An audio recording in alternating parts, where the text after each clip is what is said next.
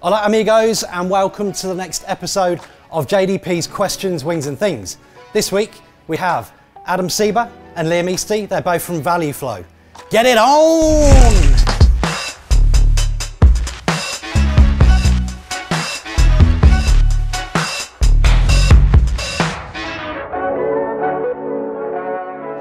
Right, fellas, we have Adam, Liam, ValueFlow.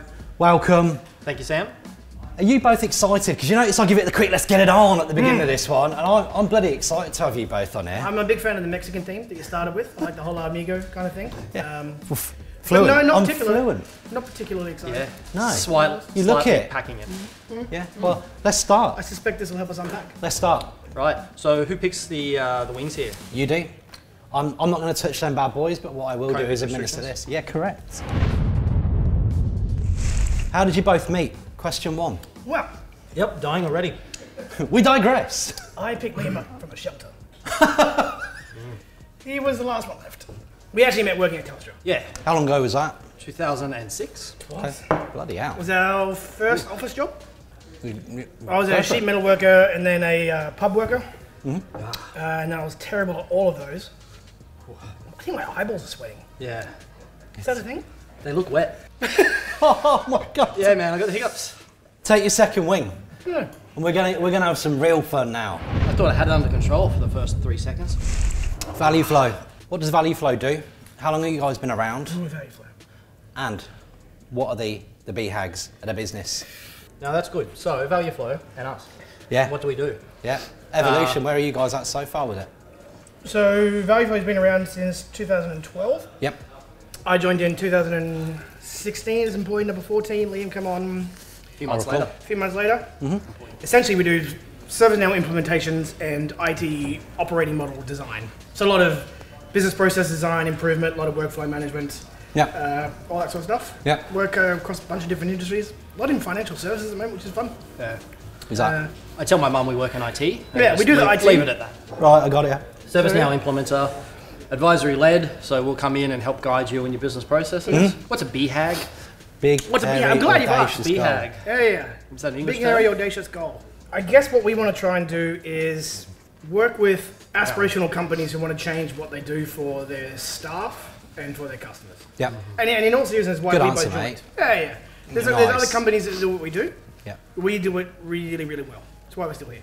Just warming into this. All right. Right. Third question. Come on, Needs. Give me an idea. Give me, give us a story of any of the, the weird and wonderful and exciting things that's happened within your dealings with clients Ooh, out okay. there over your professional careers. At Telstra, Yep. Yeah.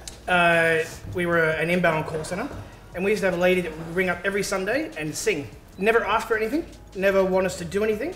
She would just ring up and someone would answer. What, and say, "It's Adam what, what how can I type of singing are we Like talking opera. about? Like she would just like a cappella some Nessun Dorma stuff.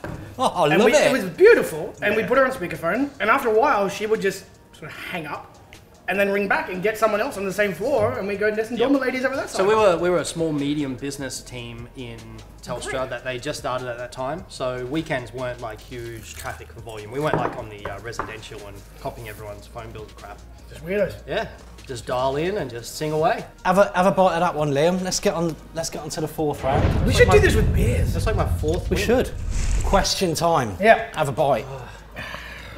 What advice would you guys give to any postgraduates out there? Can be a bit of a chicken and egg scenario sometimes, you know, with securing first gig, etc. as well. That was too What? aggressive, wasn't it? What advice would you guys be giving to, to anyone out there? To anyone who's just finished up in uni. Yeah. Uh, in all honesty, I think don't come out of uni thinking that you know what you want to do for the rest of your life. Yeah. Um, I had no idea I would be working anywhere near the IT industry. There's an awful lot of people in this industry that don't think I should be working anywhere near the IT industry. um, I came out of school. I, I didn't go to uni until I was 31 or something. Right, Did okay. metal trade, worked in pubs, and sort of just said yes to a whole bunch of shit and then worked out how to do it after. So uni's awesome, teaches you how to think as much as it teaches you what to think. Mm-hmm. The, the critical thinking, the critical reasoning skills that come out of uni, and your ability to go, I get what you're saying, but it doesn't feel right, is what I got. Good Say call. yes to shit that sounds interesting and figure out how to do it later. Yep. Definitely. Like this, for example. It's perfect. This is Yeah. what got you to you this. too could have a plate stage. of crusty regret. Yeah. If you're 21 and you've just come out of uni and you've got a degree in whatever, you'll have a set of skills and knowledge that you can apply. Yeah. But what you really need to try and get a hold of really quickly is what are some core threads that you want to be able to follow regardless of your job. Do you love being around people? Are you happy being flexible? Do you love uh, working in an office or do you want to wear t-shirt and shorts? Do you Yeah, I like it, What are the what are the things us. and then work out what you can do with those things?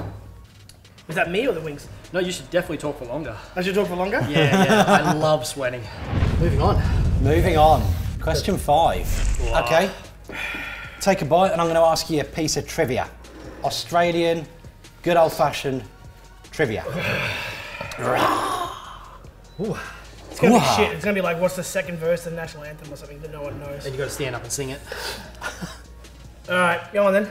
What is the highest grossing Australian movie? Highest, uh, highest grossing Australian film. Priscilla, Queen of the Desert. No, that wasn't a bad guess, though. Close one. Over to Liam. Is he going to someone? That's not a knife. What are the? That's a clue. And Mike, can I come back in? Yeah, go on. Is it the- Crocodile Dundee? Oh, yeah, okay, sweet. I was about to ask. Have is a it? proper bite I did. The skin like the skin smeared all down my lips. You are art of procrastination, mate. This this one's for the final dab, as I'm going to call it. What year was that production filmed? 88.